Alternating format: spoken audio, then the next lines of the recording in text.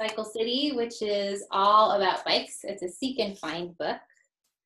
So um, on each page, you're asked to find different cyclists in a world of bikes. Um, I also wrote The Hike, which I'll be reading today. And my newest book I just illustrated, and Joan Holub wrote this book. Um, you might know her from the book Little Red Writing. It's a book about a pencil that is like a Little Red Riding Hood. But this is a very silly book and it's fun. It's all about signs that jump off of their signposts and go on an adventure. Um, so in the book, The Hike, there are four main characters. There are three kids and their dog. And one of them, named Elle, this one, she teaches everyone how to make leaf baskets out of thimbleberry leaves. And so I thought today I would show you how to make a leaf basket. I don't have a thimbleberry leaf, but I do have a Japanese Aralia leaf, which is my neighbor's. Look how big and beautiful this leaf is. I love it. Um, so a leaf basket is a very, very simple kind of fun thing to make. And all you need is a big leaf with lots of points to it. I'd say at least five would be good. This one has one, two, three, four, five, six, seven that I might be able to use. Um, so basically, here's how you do it. You take the stem and you poke it into the opposite leaf tip, like the middle leaf. And then tip by tip, you keep doing the same with each leaf tip. Just poke it right through until you have made a little container. And sometimes the leaves rip and that's okay. You can always just get another leaf. I think this one will do best just leaving those ones open. And you can see a sweet little basket that you can make and you can even put things in it like I have some shells that I can stick in there or you could put flowers in there or maybe even a snack, whatever you feel like putting in there. So that is a leaf basket. And without further ado, I'm going to read you the hike. The hike actually starts on the end papers. These are called end papers, the parts that are like glued down to the hard cover on one side. And in the end papers, you can see all the different things that the characters took on their hike. They took maps, backpacks, sweatshirts for the top, binoculars. So if you look at the end papers, you can go through the book and find all the different things that they packed on their hike. And this book was dedicated to my son Finn and his cousins Morgan and Bryn, who helped to inspire a lot of this book, and to young hikers everywhere, just like you. Um, I also did special thanks to my friend Jenny Tilson, who is a biologist who helped read this book, and to Scott Kloos, who wrote a really cool book that is called Pacific Northwest Medicinal Plants.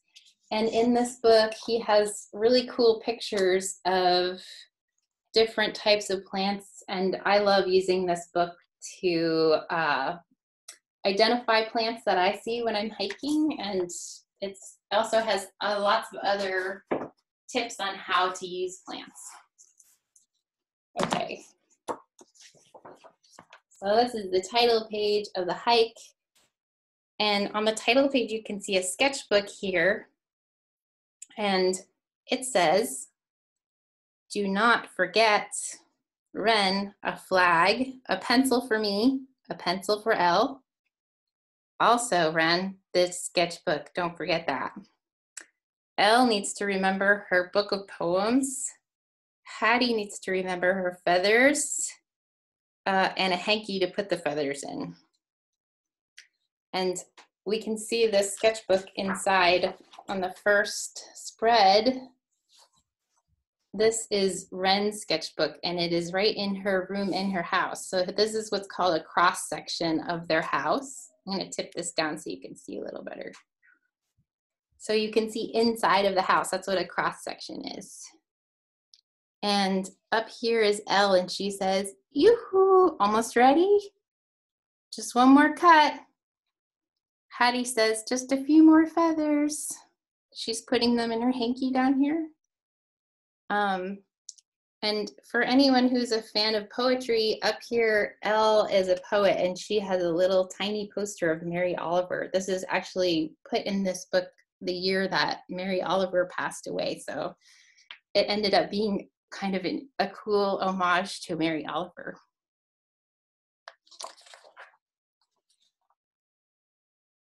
We are going on a hike. And you can see down here Wren, Elle, Hattie, and Bean. And in the hike, there's all kinds of plants and animals that are identified. Like right here, there's a mountain chickadee. Do you see the chipmunk and the red fox?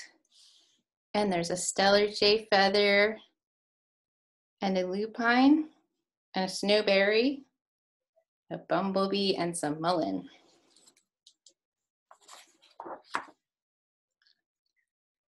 It's our favorite thing to do. Here's a deer fern and some tiny barred owlets. They're baby owls. And you can see a Steller jay saying, shook, shook, shook, shook, shook, shook, shook, shook, shook. Do you ever hear birds when you're hiking in the forest? You do? Yes.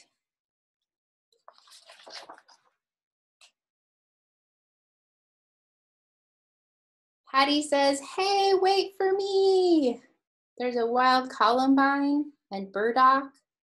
Oh, and down here is a chipmunk nest. And if you look carefully on each spread, there will be the chipmunk. There will be one chipmunk that follows them on their hike. In the beginning, we run like maniacs. Arf.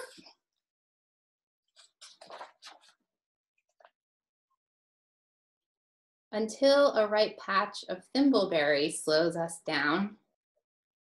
If you live in the Pacific Northwest right now, the thimbleberries are starting to ripen. They're like kind of look like a raspberry, but they're softer. You'd never see them in the store. They're they're way too soft. They would just fall apart and they're delicious.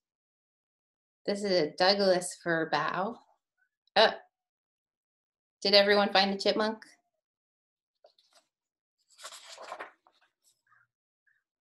Elle teaches us how to make leaf baskets. Hey, we just made a leaf basket. And here's all the instructions that I just gave you for making a leaf basket. And they say, like this, Elle? Yep. Where's the chipmunk here? Can you find it? Yep, it's right there.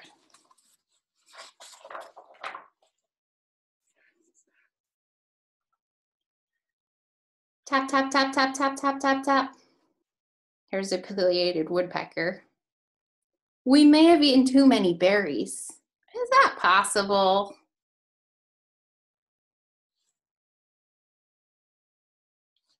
Arf. I thought we were saving some for later. Hattie's the only one who still has berries in her leaf basket.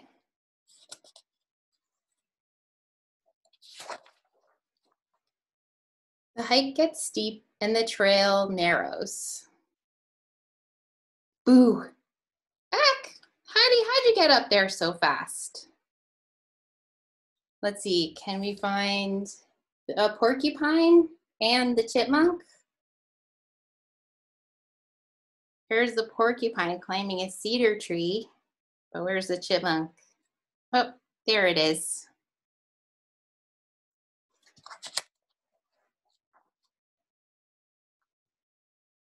We get lost.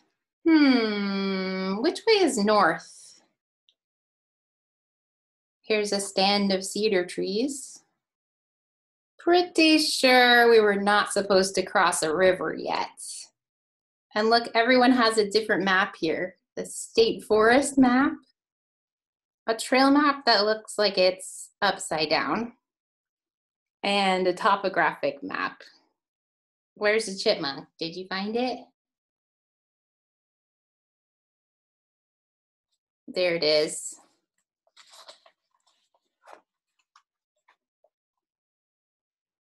Did we go left after the berry patch? Right, I think. Wren, what's another word for blue? Azure, cerulean, cobalt. And then we get another look into Wren's sketchbook here. Here she is drawing. She's above Hattie, so she's drawing her head. A bird's eye view of Hattie. Hattie always finds the roots, and you can see Hattie's compass right here. And if you look closely, you might see the chipmunk munching away at their snacks. Right here.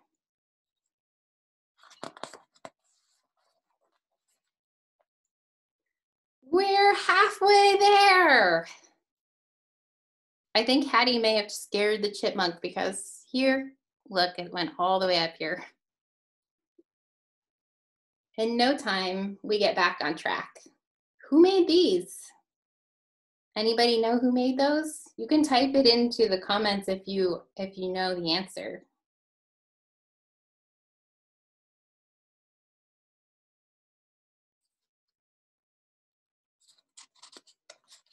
Let's see. Oh, a deer walks past, Bean sneezes. Uh, chew.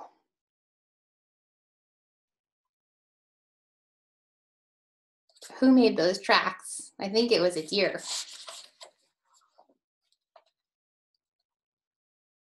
The deer vanishes so quick, we wonder if it was ever really there.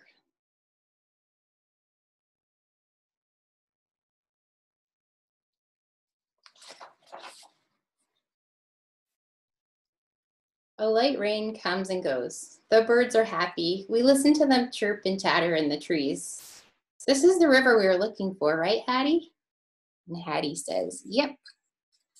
And here again, we see Wren's sketchbook, and this time she's drawing birds we saw at Whitefish River.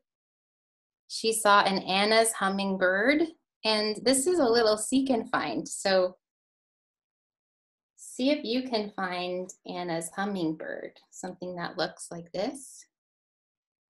Do you see it? Right over here. And then there's a mountain chickadee. This one's actually flying. Can you see the mountain chickadee flying? Up here. And then there's a mountain bluebird. Can you find a bluebird? It looks like it's going into its nest in a tree. Do you see it? Right here.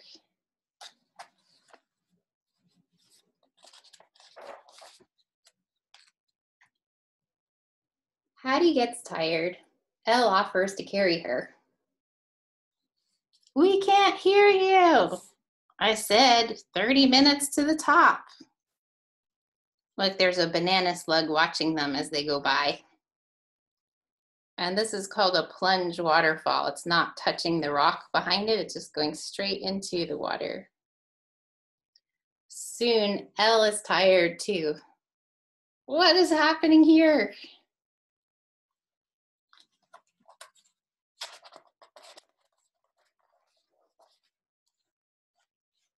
Giddy up.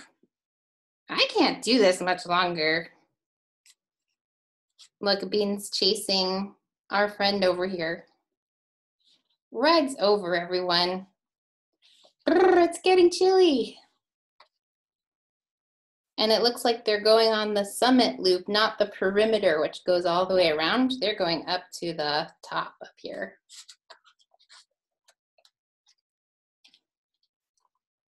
At the top, Wren takes out her flag.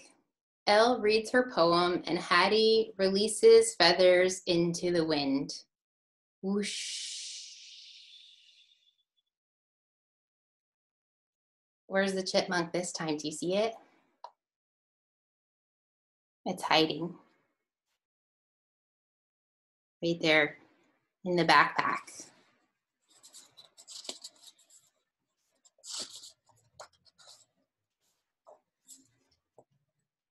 We did it.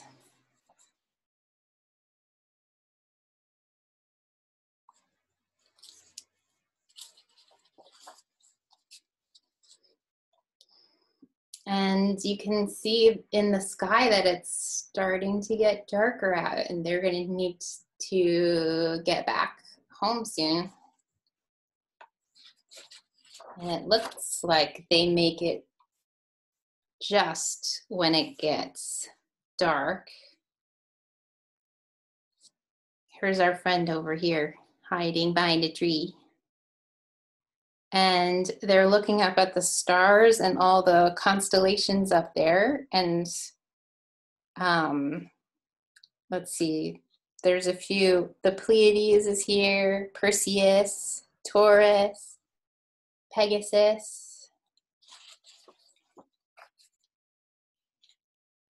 so that was the end of the hike but there's also more of Wren's drawings and notes in her sketchbook here and she writes some of the things I saw today. Um, this one, I really like this one because sometimes in the fall, I, I hear barred owls in my backyard. They fly through and land on my neighbor's tree. And this one says, barred owlets. Hattie says, barred owls sound like, who cooks for you? Who cooks for you all? And the owlets, the kids, they say, Psst. Why does she keep asking? No one ever cooks for us. Do you think an owl mom would actually cook for their kid? Probably not. They're just giving them little uh, creatures to eat like mice. Um, dead. Th- this one says dead trees, life support, and here's a nurse log. This is the nurse log. It's a horizontal tree that baby trees can live on and other things can live inside of it and it supports life in the forest. And the little trees say, Thanks for the food, nurse, and thanks for the shade. Just doing my job, kiddos. Thanks for the water, too. You might have seen this kind of tree if you're ever on a hike. I see snags a lot. This is a vertical dead tree that's often missing its top and here's a woodpecker here saying, Ooh, juicy, tap, tap, tap, tap, tap. You love me a good carpenter ant. Has anyone here ever heard ever heard a woodpecker in their neighborhood? No. Um, you have here? Okay.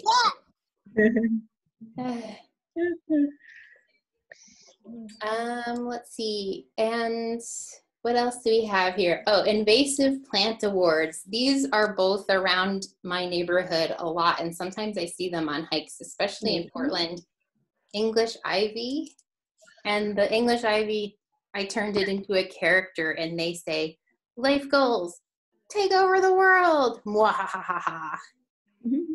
They get an invasive plant award because they can smother and kill plants and trees, and the English ivy isn't from here, and so it doesn't do well with the, the, trees and other plants around. It just takes over, as does Herb Robert, otherwise known as Stinky Bob. It says, please call me Stinky Bob. Stinky, Stinky Bob.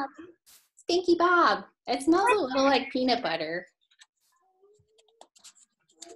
And let's see. Oh, here's one more. This one I see on hikes a lot around here. It's called vanilla leaf. And you can actually dry it and make a, a vanilla flavored tea with it. And redwood sorrel, it has these heart shaped leaves. There's also just a regular wood sorrel that's small, but the redwood sorrel is quite large and you can eat it and it tastes lemony and tart. It's very fun to try. Hey, I think once I ate that. You did? I think so. Did you like it? Yes. Did it taste kind of like a lemon? Yes. Yeah, that sounds fun. There's a couple plants that taste lemony, but those little heart-shaped ones are fun because they're easy to identify. Um, this one is a taproot. Has anyone eaten a carrot before? If, if you have, then you've had a tap root. It's a large main root, and that little roots can kind of branch off of. And that is the hike. Oh, there's one cool thing about this book, and that is that you can take the jacket cover off and it turns into Wren's sketchbook, sketchbook property of Wren. And here's some drawings that she made on the outside. You ready to be done here? And on the back, there's like a lupine leaf and a Douglas fir tree and a damselfly and a squash flower. Um, so that is the hike. And I thought before I take off today that I would do a little bit of drawing with you guys. Does that sound fun? Mm-hmm. So I'm an illustrator, and so I draw every day. And I thought we'd do like a little combination. You know how I wrote this book called Runaway Signs? Um, this was kind of like the perfect book for me to illustrate because I love drawing characters that are just running around. It's really fun to do. So I thought I could um, draw for you just like some nature characters that run around. Um, and let's see, the first one I'll do is a leaf. I like finding everyday objects and just turning them into characters. It's really fun. Like you can go on a hike and find something that you might want to draw and just turn it into a character or you could even like look around your house and wonder what would be a fun character to draw. And like you could do like a stapler or a pair of scissors or a refrigerator but today i'll do just a few different characters from nature. Can anyone guess what this one's going to be? A fruit. Um not a fruit but good guess this is like a little hat kind of Acorn. You got it. Good job. And then Um, let's see. And then maybe you could even do like a little sun as a character. They're always kind of cute to do. Isn't it cool? Mm-hmm. Those look like a big one. Um, and oh, okay. I have another idea. I'll have you guys guess. That's kind of a fancy sun. Um, okay. Flower. Flower. Ooh, good guess. I'll do that one next. Hat. Hat. It also looks like a hat, but it it it is not a hat. It's something from nature. A jellyfish. A jellyfish. It does A look mushroom. Mushroom. it's a mushroom. Good job. Yeah.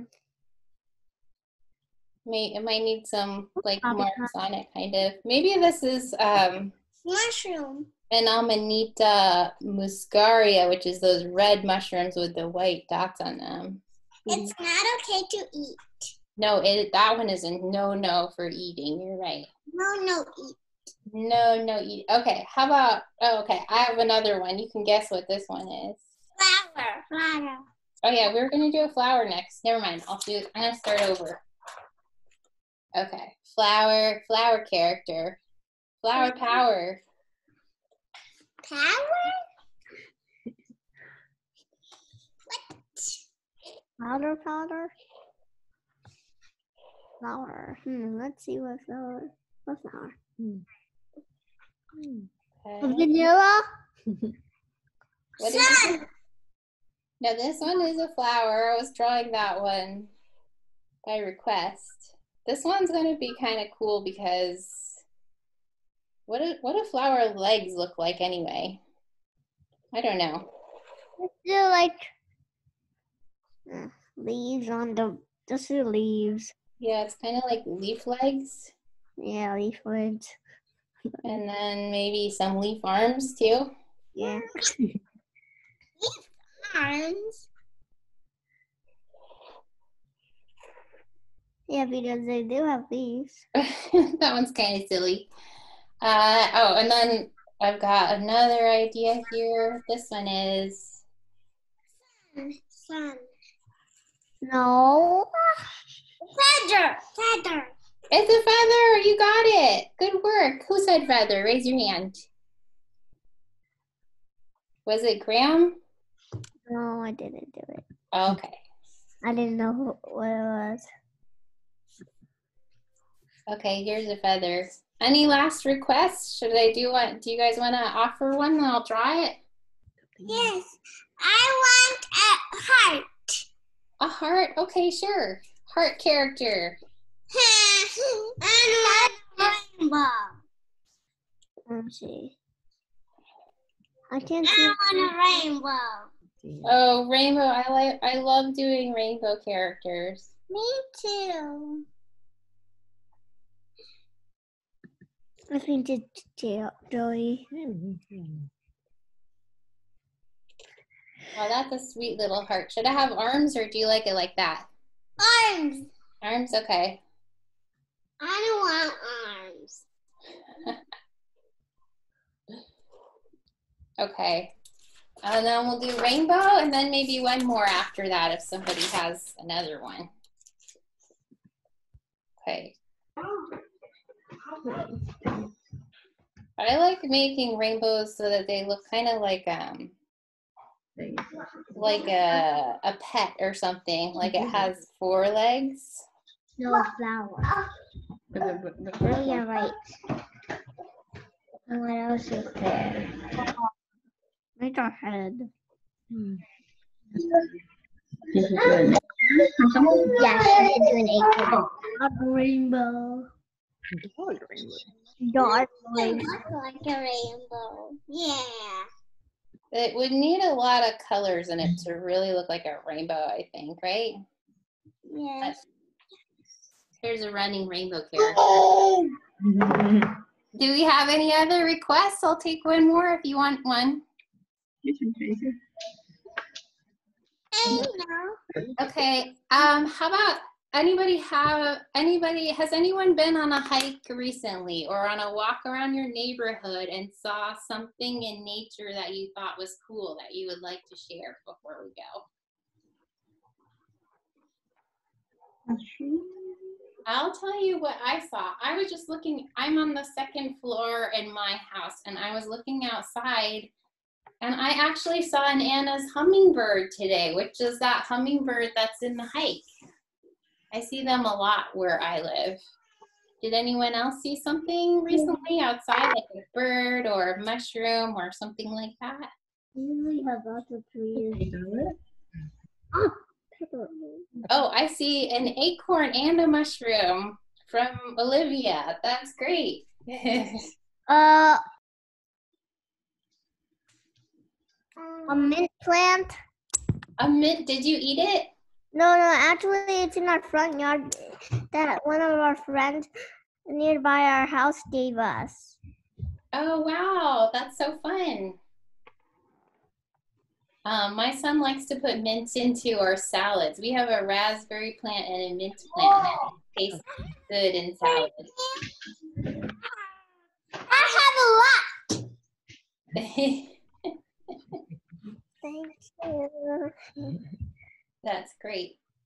Well, I think we might be wrapping up over here. How does that sound to you, Jennifer? Any other things you want to do? And One, Oh, I think you're still muted. Jennifer, yeah. see.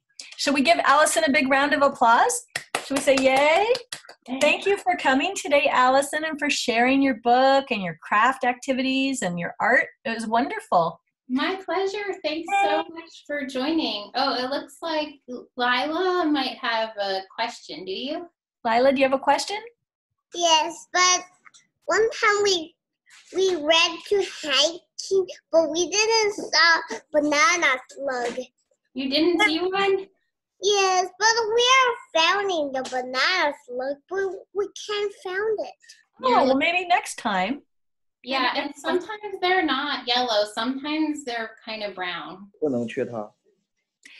Um, so just to let you guys know, if you want to see Alison's book, we're going to have it up on a story walk in front of Burlingame City Hall for the month of July. Um, and tonight we start our family fun nights at the Burlingame Library. So check our website. We're going to have some fun activities. I think tonight might be a magic show. Um, so ask your parents to look at our website for the details. So thank you everyone for coming today. We'll see you soon, okay? Thanks thank so much, Alison. Thank you. thank you. so much. Bye, everybody. Bye, Bye sweetheart. Bye bye. Thank you. Thank you. Bye -bye. Oh, you're welcome. Okay. Bye bye. Mama Jack, we need